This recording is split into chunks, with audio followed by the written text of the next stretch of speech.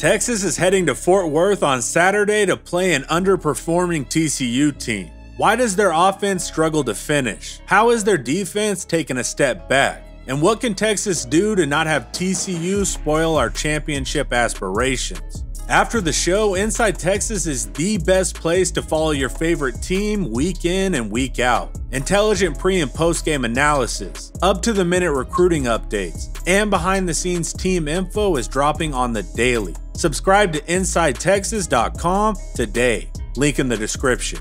TCU doesn't have much to fight for besides their pride and would love nothing more than to give Texas a black eye on our way out of the conference. But can they pull it off?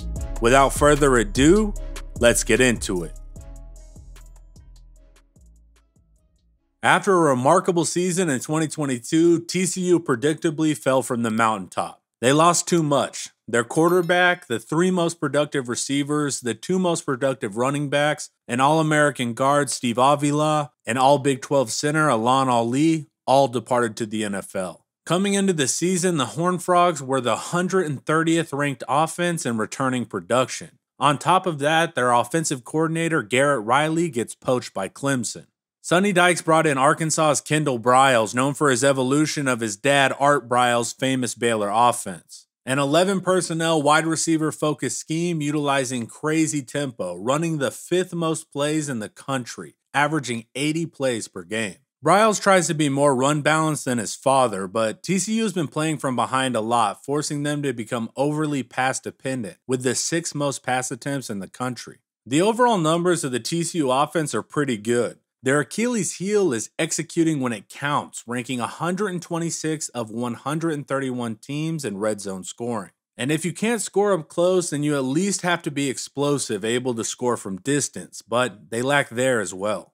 Losing Max Duggan was more than just losing a quarterback. You lost the tough mentality that permeated and propelled the offense last season. For the second year in a row, TCU started sophomore Chandler Morris. He went down in the Iowa State game, re injuring the knee that took him out last year. He did all right 66 in completion percentage, good for fourth in the league. 7.6 yards per attempt, right at league average at ninth, with a slightly below average 9 yard average depth of target. But the missing context is his three wins came against FCS Nicholls, Houston, and SMU. TCU hasn't beaten a traditional Power 5 opponent this entire season. He's shifty and he can make some nice runs and extend plays, so he can threaten defenses, but it doesn't outweigh the bad. In his time starting, he made seven NFL caliber big time throws while making 11 turnover worthy plays. Statistically below average on the deep ball, slightly above average on the intermediate ball, and very accurate short. Morris can get hot and look like a world beater with some flashy plays, but there's this uneasiness, nervousness to his game that always stands out to me.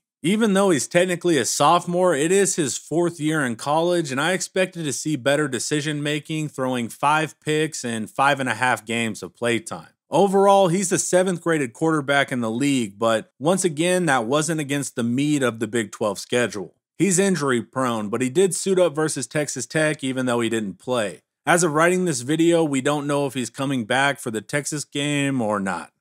In his absence, the redshirt freshman Josh Hoover stepped in.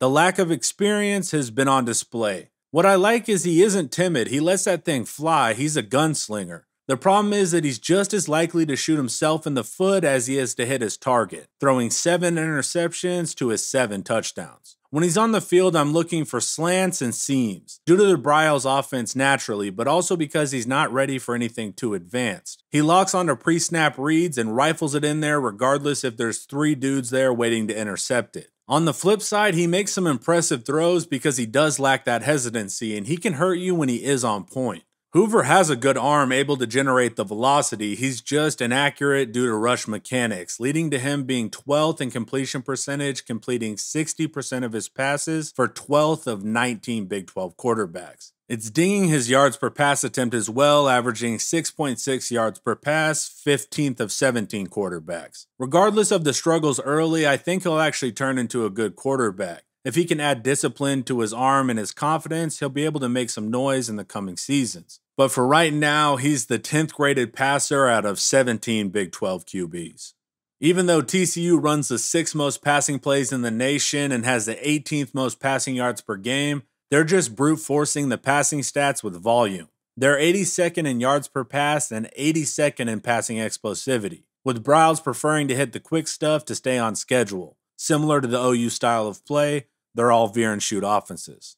After losing almost all of their receiving production, TCU brought in some talent from the portal to try to keep the pass game functioning at a high level. The best move they made was bringing in Oklahoma State transfer slot receiver JP Richardson. The 6 foot, 190 pound junior leads the team in targets with 54, and he's perfect for the Briles system of quick hitters over the middle. There's nothing that makes him elite. He's quick enough, a decent size, pretty good hands, and he gets to his spot. The key is he does everything at a good level and can be relied upon to move the offense forward. His ability is more appreciated in his full body of work than any individual play. He'll get you a few times per game and move the sticks. This well roundedness has him as the first graded receiver in the entire Big 12. Second in targets is the giant 6'5, 225 pound returning junior Savion Williams. He was a good fourth option last season, able to grab some balls when the heat was on Johnston, Barber, or Davis. But with those three guys gone, he's had to step up into more of a central role. Of course, with that size, he's a threat to you deep or in the red zone, but Briles passes to him on all levels. He's not going to burn you as a possession receiver, ranking 41st of 51 receivers in yards after catch per reception, but be aware of him boxing you out and plucking the ball from above. Overall, he's the 22nd ranked wide receiver out of 51 in the league. Third in targets is a former Texas transfer, the 6'7, 260 pound senior Jared Wiley with 41. He's most effective in the short game and in the red zone, able to capitalize on smaller linebackers and safeties. And once they catch you sleeping, they'll slip him up the middle for a big gain. Overall, he's the seventh of 15 receiving tight ends in the conference. The 5'9, 180 pound Ole Miss transfer, Jaylon Robinson, is fourth in targets with 36, catching 24 of those. He was able to start last week due to another receiver going down. Robinson has good speed and he can challenge you vertically, getting off the line quickly. But overall, he's the 43rd graded receiver of 51. The receiver that went down with injury versus Tech was starting outside receiver Dylan Wright with 27 targets. As of writing this video, I don't know the diagnosis. He offers traditional outside receiver size at 6'3, 210 pounds. The Minnesota transfer is your best downfield threat due to that size and speed combination. The quarterbacks are shaky deep, so he does have a poor 41% catch rate. But watching him back at Minnesota, he can frame the ball well and pull it down in better conditions. But due to the lack of receptions, he's the 42nd of 51 receivers in the league. And there's several more guys that get a low amount of reps outside the starting rotation, but we don't have all day. They do have more speed in the slot to bring out, like Major Everhart or JoJo Earle, more outside size with a guy like Warren Thompson, and two big tight ends that can make catches in the six foot five Chase Curtis or the six foot four DeAndre Rogers. But the reason so many guys get targets is because the receivers are struggling to get in rhythm with shaky quarterbacks. You'll see a lot of confusion and misplaced throws. In a perfect world, the TCU offense likes to get the ball out pretty quickly, but due to being behind in games, they've had to lean more towards longer developing concepts recently. The offensive line isn't holding up, making the quarterback's job even harder. TCU only has two top half pass blocking offensive linemen with right guard Willis Patrick at 10th and right tackle Andrew Coker at 26th. The remaining linemen are all bottom half of 81 pass blockers. The unit as a whole has given up the second most pressures in the league with 79 and the third most hurries. The quarterbacks will rush throws under pressure, so the offensive line has only given up four sacks, which has saved their overall pass blocking efficiency, putting them at ninth in the league. Under normal circumstances, Briles likes to have a healthy run pass split, but they've had to abandon it at times, even though it's been pretty effective. 43rd in yards per rush and 22nd in success rate, able to get positive yards consistently. They just lack the home run balls as the 104th most explosive rushing offense. Last year, TCU had two really quality backs that went pro. This year, the 5'9, 207 pound Emani Bailey has had to step up and he's done well sixth in yards after contact per attempt, 10th in breakaway percentage, and ninth in yards per attempt at 5.5. Due to that consistency, he's the seventh graded back of 28 Big 12 rushers. If they want to try to punch it in on the goal line, they'll bring in the heavier Alabama transfer Trey Sanders. But he's near the bottom of the league in every category, so they just prefer the physics of his 222 pound body. But he's super inefficient in the open field, graded 22nd of 28 running backs in the league. Luckily, the offensive line does perform better in the run than the pass. They're 18th in the country for offensive line yards and 17th in power success rate, able to get a push on short downs and distances. Right guard Willis Patrick is 9th, center John Lanz is 20th, and left tackle Brandon Coleman is 26th. In a closer game, this might be more of a factor, but if you get up by a good amount, their run blocking strength is less utilized. This TCU offense does a good job moving the ball between the 20s. Overall, above average in points per game, yards per play, points per drive, offensive success rate. Their fatal flaw is just not finishing the job. Whether that's throwing an interception in crunch time or a consistent inability to score in the red zone. But if they play clean and have one of their better games, they can challenge opposing teams. The keys for the Texas defense are interesting. First, TCU is a solid rushing offense ranked 29th in yards per rush. But Texas is a superior rushing defense, only allowing 3.2 yards per game with the best interior defensive line duo in the nation with T'Vondre Sweat and Byron Murphy ranking first and third for all of Power 5. What's interesting is our strength ends up forcing teams to target our weakness. Texas isn't good on the back foot in the pass game against the two minute drill. We can give up easy underneath routes naturally, and in the crunch, Texas also tends to give up the intermediate ball when receivers sit down in the zone. Philosophically, TCU has one of the fastest tempos in the nation with an emphasis on the quick game.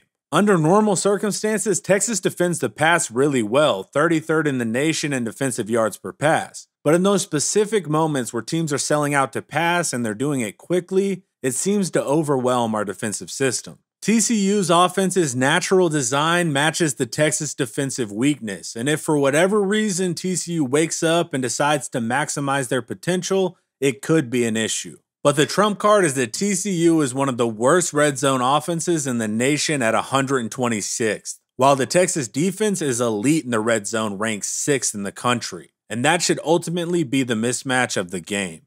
The TCU offense is weird this year because they should be far better than their record if it weren't for this lack of team cohesion leading them to break down when it counts, while also ranking 90th in the country in penalties, limiting their success even further. But the group we expected to improve this year was actually the defense, and there's been issues on that side of the ball.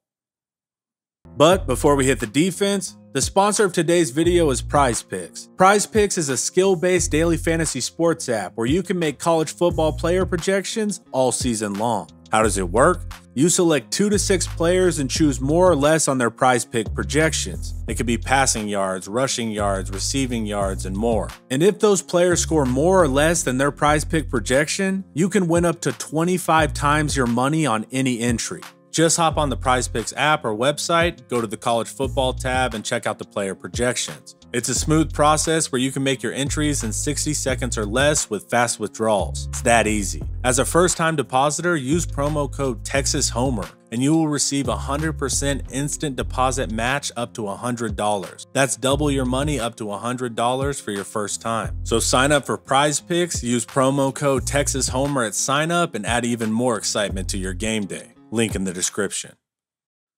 The defense didn't get obliterated by the draft like the offensive side of the ball, returning 71% of their squad for a healthy 40th in the nation. So it was expected there would be a natural year two bump, but we haven't seen that yet. In the run game, they play super aggressive, crashing the line with multiple bodies as soon as they get their run keys. The upside is they can make contact at the line of scrimmage often with their speed, but if they don't fit their assignments, backs can get loose and gash them. This also leaves them open to well carried out run fakes because they are so stop the run focused. They've done an average job, giving up 4.1 yards per rush, good for 62nd in the country. The problem is their last three games, they have been performing much worse, putting them at 88th in the nation. In a 3-3-5 personnel grouping, you're getting rid of size on the line so your faster, more athletic bodies can make tackles. but TCU is whiffing on those far too often and allowing running backs to get extra yards. On the interior, only starting nose Damonic Williams is performing well, ranked 10th of 50 interior run stoppers. Depth guys like Tymon Mitchell and Sony Misi are ranked in the bottom 10.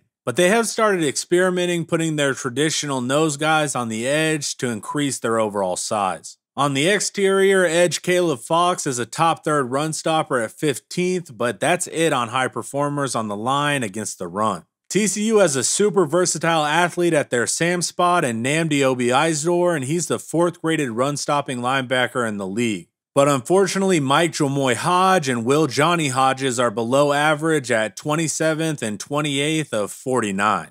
So you have one linebacker that's consistently stopping the run, but where it breaks down further is the lack of secondary guys making plays. Their best DB run stopper isn't a starter, and rotational safety Abe Kamara ranked 10th with only two starters barely cracking the top half, with free safety Millard Bradford ranking 46th and starting corner Josh Newton at 48th of 104 run stopping DBs. The TCU defense has athletes, they just look disjointed as a squad.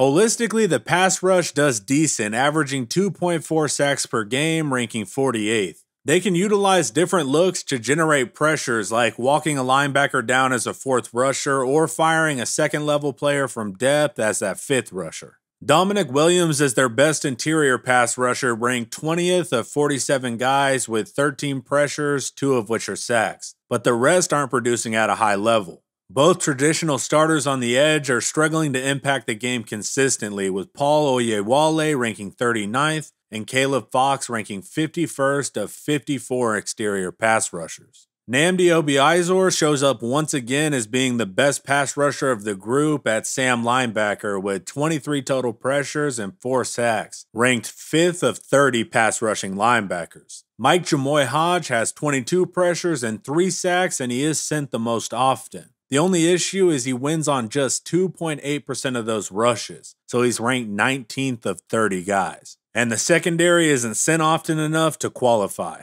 The pass coverage is also performing poorly, giving up 7.4 yards per completion, ranking 70th in the nation, with the 86th ranked defensive passing explosivity, so you can take advantage of those one on ones when they do go into man. Weak side linebacker Johnny Hodges is the best coverage defender at 8th, which is always amusing because players that use a neck roll should be disqualified from dropping back in coverage, period.